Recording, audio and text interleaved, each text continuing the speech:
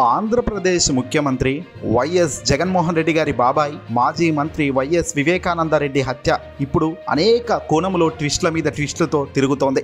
చెప్పేది నిజాలా అబద్ధాలా అనేది కూడా ఇప్పుడు అనేక ప్రశ్నలకు దారితీస్తుంది. తాజాగా నేను చెప్పని విషయాలను వాంగ్మూలంగా నమోదు చేశారు అంటూ ఏకంగా పులివెందుల మాజీ ఎంపీటీసీ సభ్యురాలు శశికళ స్పష్టం చేస్తూ ఇప్పుడు మీడియా ముందుకొచ్చారు. అవును మాజీ మంత్రి వైఎస్ వివేకానందరెడ్డి గుండెపోటుతో మరణించినట్లు ఎంపీ అవినాష్ రెడ్డికి కానీ మరెవరికి కానీ తనతో చెప్పలేదు అంటూ పులివెందుల మాజీ ఎంపీటీసీ సభ్యురాలు శశికళ స్పష్టం చేశారు. తాను చెప్పని విషయాలను చెప్పినట్టుగా సిబిఐ వాంగ్మూలం నమోదు చేయడాన్ని ఆమె తీవ్రంగా వ్యతిరేకించారు.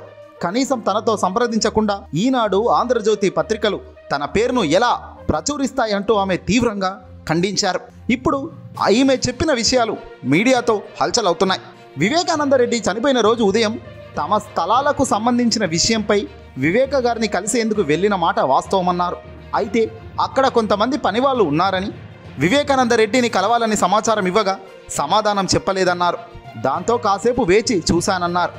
కొద్దిసేపటికే కొన్ని కార్లు వచ్చాయని అందులో నుంచి వైఎస్ అవినాష్ రెడ్డి వైఎస్ఆర్సీపీకి చెందిన కొంతమంది అనుచరులు ఇంటి లోపలికి వెళ్ళారు ఐదు నిమిషాల్లోనే అవినాష్ రెడ్డి బయటకు వచ్చి ఆందోళనగా వివేక ఇంటి లాన్లో ఫోన్లో మాట్లాడారు.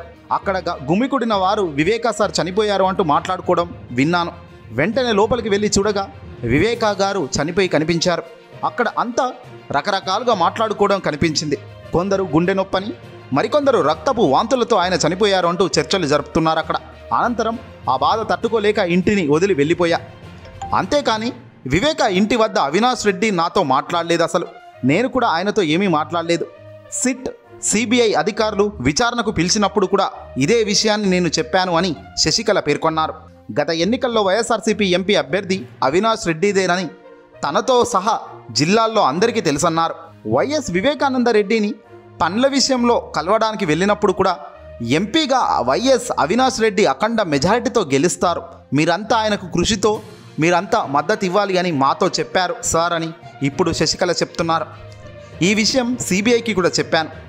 ఏ విచారణలో నన్ను పిలిచినా ఇవన్నీ చెప్పాను. కానీ నేను చెప్పిన విషయాలను నేను చెప్పని విషయాలను వేరువేరుగా పూర్తిగా నన్నే ఆగం చేస్తున్నారు.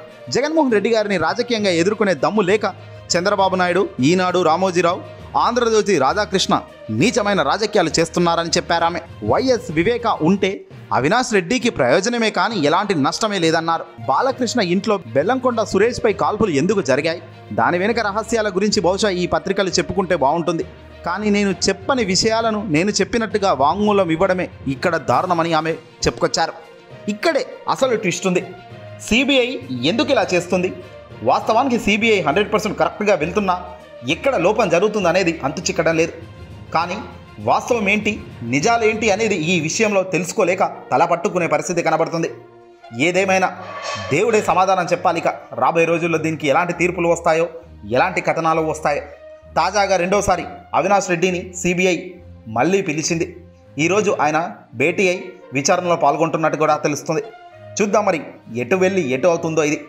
ఏదేమైనా దేవుడు దయ ప్రజల ఆశీస్సులతో అంతా మంచి జరగాలని ఆశిద్దాం.